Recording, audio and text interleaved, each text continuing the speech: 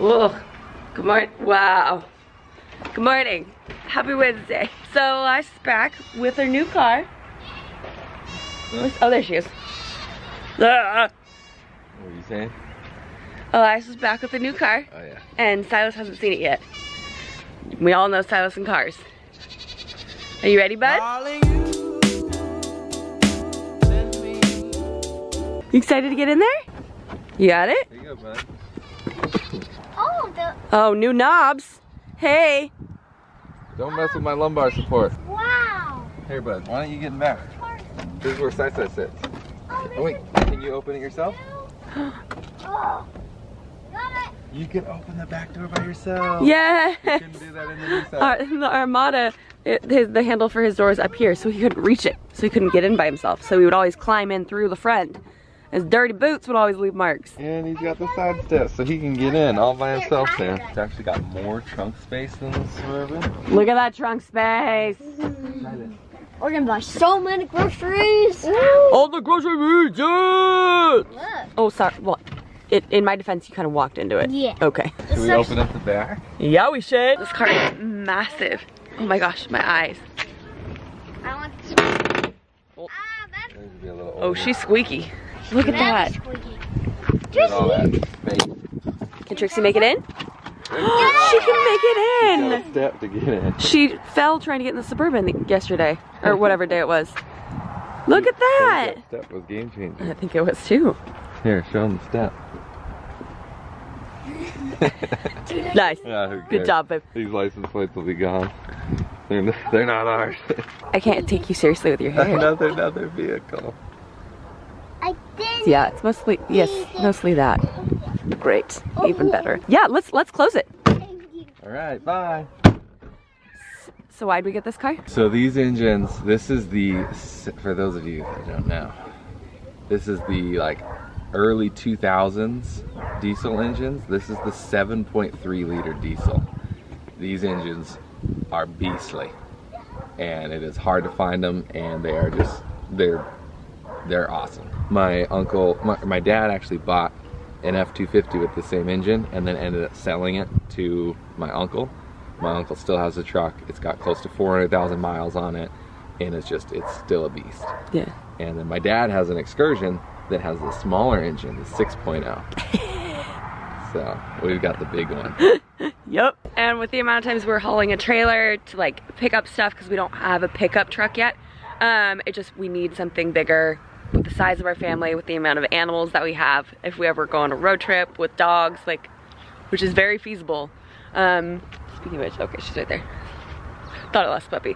Uh, yeah, we're just a big vehicle family, and we are so excited to welcome Big Blue to the fam. Big blue one. Car. Big Blue One car, as Silas would call it. And now, what are we gonna do?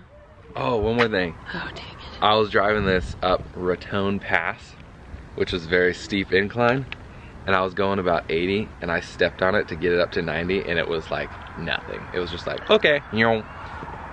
Because it has a turbo. It is beastly. Very beastly. I, you probably shouldn't admit that you purposely pushed it to 90 though.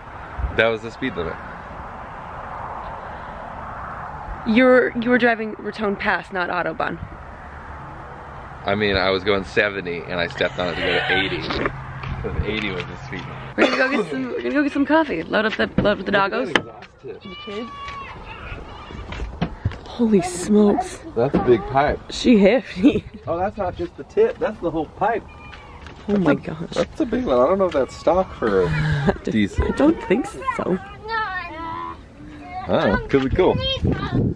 You're a police officer? And you're gonna be the bad guy.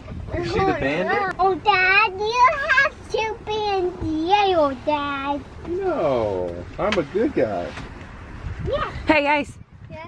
who wants to go get some coffee or something? Me! Me! That's my shirt backwards. Hey, can you turn the engines on, Dad? This is all her. I can turn Hi. Look at all that flag room for you. the gun. We should, do you want to take pictures? Yeah. Oh, see his Bonnie's tail just flapping around. So I don't know if we told you, but we just decided we're gonna go grab some coffee. and donuts. No one said anything about that. No, no donut. Okay. Not donuts. We get so irritated when the girls mention candy or like soup. I want to get donut. What have you done? Oh, you want to do something cool? I'm a donut. Huh? 16.8 miles per gallon. That's really good. That's better than my Armada. Yeah. That was like what, 13? Yeah. At, at best, 13.1. Someone mentioned donuts and now he doesn't think it won't I stop. want to get donuts. I want to get donuts. I want to get donuts. I want to get donuts. I want to get donuts. Okay, bud, you're done. No more. Nice. went to Scone this morning? So we were gonna go get Starbs, but the line is obscene. So now we are at Nightlights Donuts and Coffee. Guess we might end up getting some anyways. We gotta get donuts. What a nice diesel engine owner. Turn your car off. Silas, we didn't got for you. No, I just want chocolate. Daddy got you chocolate. Silas, you got for me. He doesn't say forgot, he says got for. Mm, oh, I forgot to get oat milk. Oh, so did I. That's fine. Oh, that's not fine for you. Look so sad missing a nail. Um, I went for a chai with a double ad shot this time because someone's being extra and wanting everyone to smell his feet. Surprisingly not Elias. I want an oatmeal drink. You got for oatmeal drink? Yeah. I probably almost said this before I ended the last clip. Silas doesn't say forgot.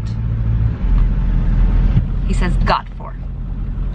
And it's my favorite and I hope it never changes and I hope he is he's in college or trade school. We'll support either. Saying I got for my book.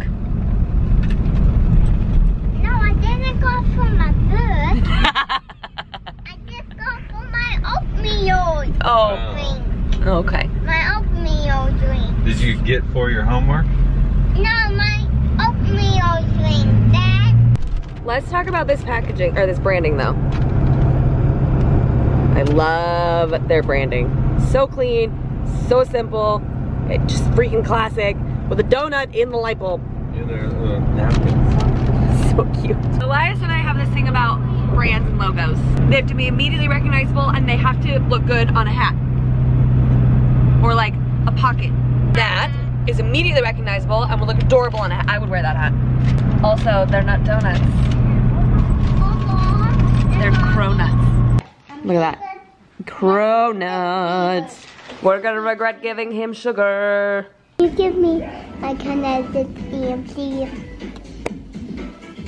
Please. Your face. He wants kinetic sand. Oh, not on your arm. Napkin, please. Boop. All right, well, I think we've decided today we are going to plant some seeds. Um, I want to plant some seeds. you want to plant some seeds? Where are you? There you are. I want to plant some Do you want to plant some seeds? We really want to get our garden started, um, so we got to get this going. We are going to be doing uh, a gardening method that I saw on this documentary called Back to Eden. I think Back to Eden. Fascinating, fascinating documentary. Um, this guy never waters his garden.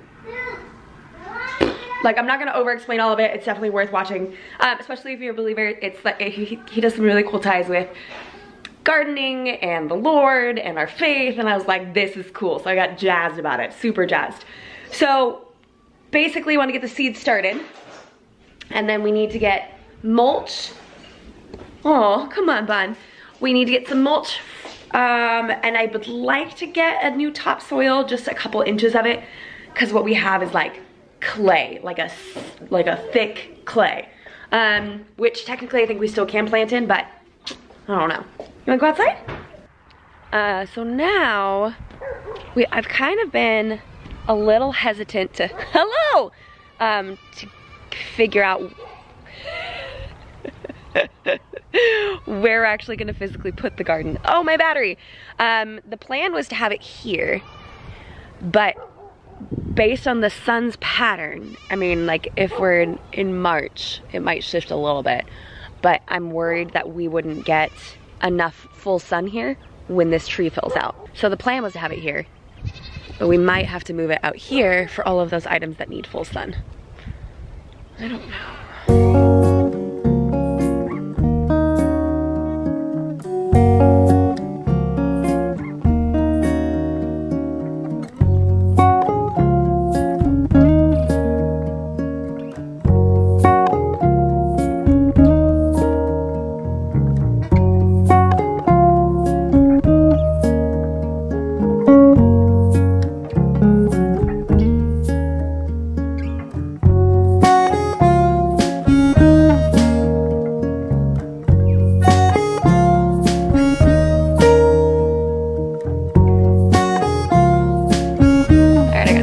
Side to change. And then we're rocking. Jan, see the label? It is a very windy day here. Unfortunately, because of the frost, we lost the pomegranate tree and the peach tree. We will be replacing them ideally, but because we have, what fun? Okay. We got uh, a Tangelo tree and what is the other one that we got? I don't know, we got two fruit trees, so we're just basically just gonna plop them right in the holes where the, oh, you got your shovel, good job! Where the other trees just were.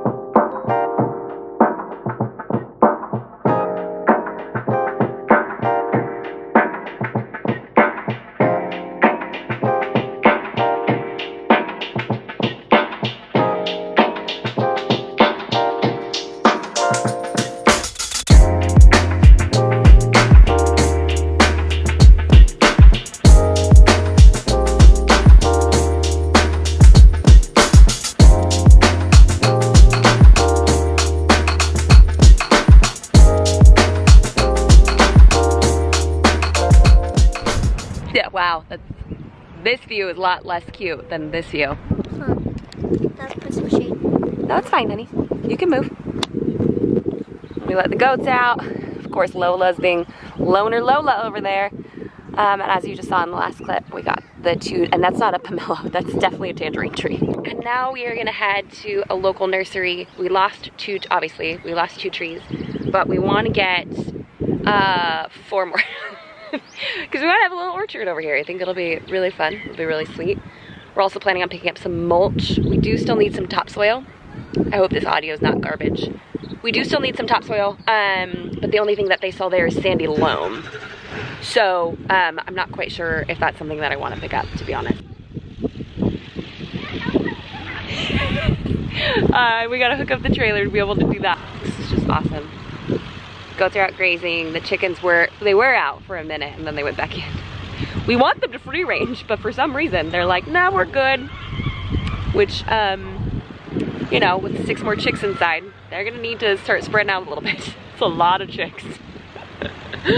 we have 18 chickens and a rooster, what? Okay, so we're at the greenhouse and y'all know I hate vlogging public so much. Um, but we're gonna get some of the mulch from here and gonna check out their topsoil. They said all they had here is, I'm sorry, it's so windy. All they have here is sandy loam, so I wanna test the consistency of it and see if that's something that we wanna use or if we need to get our topsoil from somewhere else. So, um, good news, they do have organic compost because we wanna make this as organic as possible. So this is what we're looking for. We want this mulch. So it's got tiny pieces, big pieces, um, and everything in between as opposed to some of the other ones that have consistently the same size and shape. So I think we're definitely gonna get this. Yeah? Is it so cool? Yeah.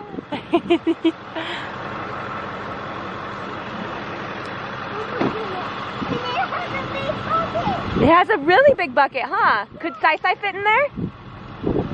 Yeah? What's he doing, dude? What's he doing?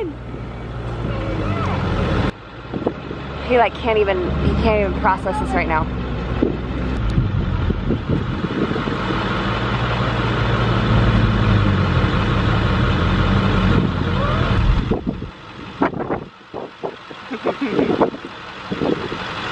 We're back with the mulch, but now I need to help him back, back the trailer up. We're gonna dump the mulch right here, um, and when we get a topsoil, we'll lay that out and then put that on top of it. I think that's our current game plan. Just kidding, we're not pulling it out. I thought the tarp was bigger than it was. well, I was like, no, we have to shovel all of it out. Oh, so we're not, we're not moving the mulch today. and I might do a little bit more research and see if we have to have the topsoil. But back to Eden, they didn't necessarily, like one of the people added it, but I don't, I just don't know. I don't wanna have to spend more money, but we obviously would love to have a good harvest. So yeah, I'm not sure yet. Um, so we just got done going through all the seeds we have and just writing down their names. Looking at doing seeds, doing writing things down like cauliflower, going through all of them and putting them in their sort so we can get ready to plant. Yeah, I know. I don't know if we'll have enough time to sow all of these. I have podcast recording in a little bit. Ah. I know. You gotta do work. That's your own foot.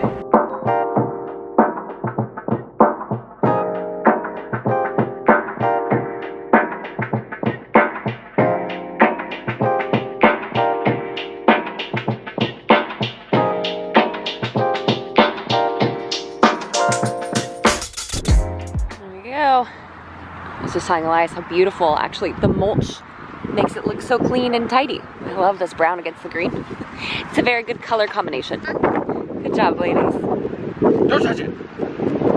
Touch, touch, touch. Stop it. Touch, touch, touch, touch. Gosh.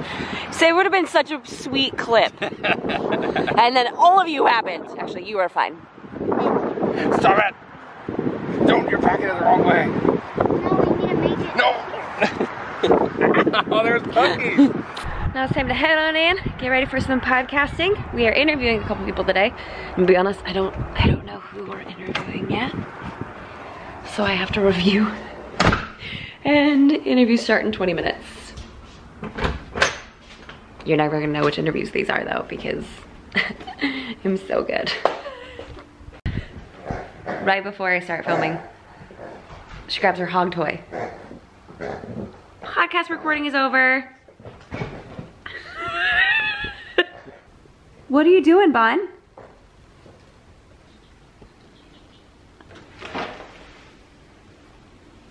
Wow. What a vision. It's very windy outside. So uh, tomorrow's trash day. So he, our trash can is blown over like twice. So he's going up there to get it because we're worried trash is just blowing all over our neighbor's yard. Podcast recording was great. Uh, ended up taking more like four hours instead of three. It was good. We tended to group our solo podcasts and then our interviews on the same recording days. So sometimes after doing three interviews, like it's just sometimes they're tiring. They in the, the best way because you're enjoying yourself, but you're also on the whole time.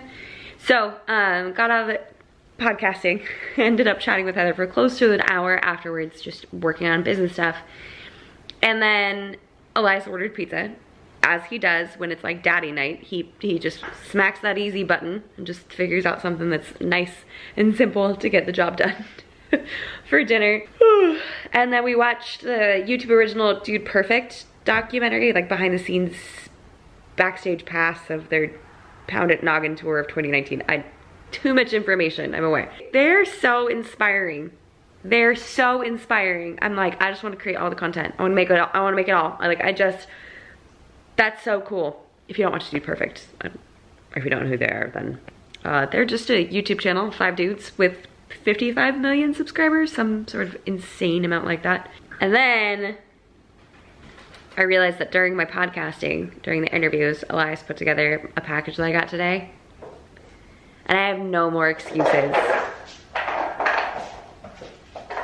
Hey, at least it's not the hog. you ready for this? So while Elias does his stretches, I got a foldable bike. And you guys, how would you keep pouring food out of there? I don't understand. They keep like getting food out. Uh, okay. This is my new bike. I've literally used it for two and a half minutes. And my legs already hurt. I have no idea if it's gonna be any good at all whatsoever. But I also heard that you can watch Peloton instructors. I mean, we're not buying a Peloton. I'm not spending that kind of money on an exercise bike. However, if I can watch the instructors and get the same kind of experience, I'm gonna do that. Maybe. It's kind of nice because I can just camp it here and watch TV if I want to.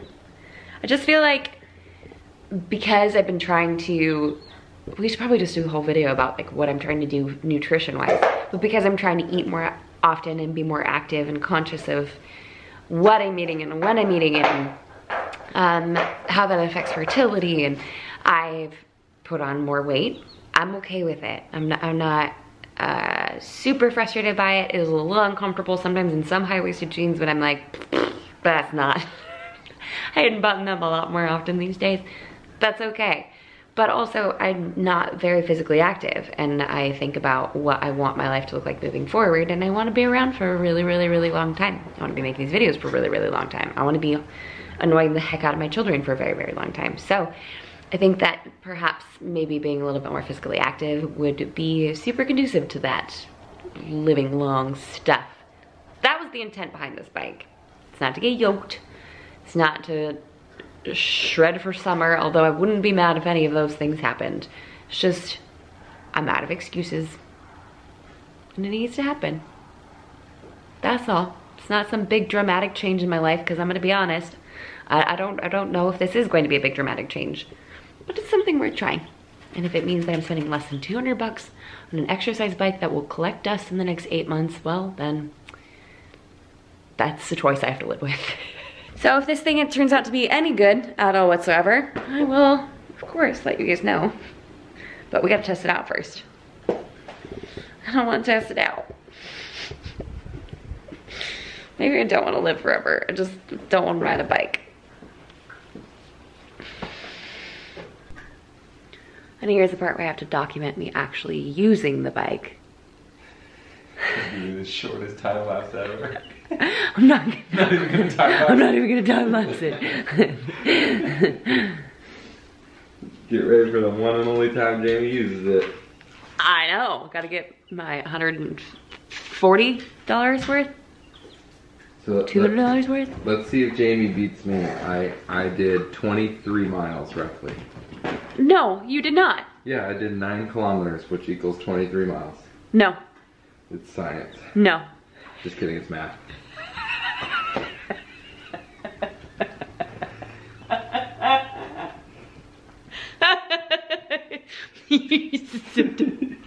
I'm glad I can still make you laugh, babe. we still got it, babe. Cue the time lapse.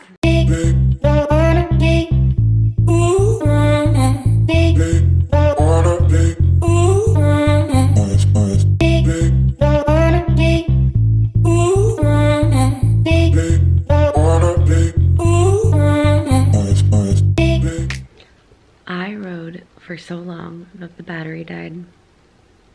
Yeah, I did. I did. I did 10k. So Elias can take his 9k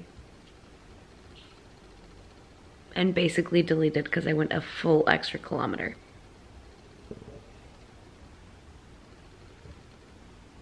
Those, those are toe beans. Literally the world's longest tail on a puppy. So now it's the part in the night where I pick her up, scoop her up, put her in her crate. She's doing a lot better. She still gets a little whiny about it, which I understand. It's, that, that could be a little rough.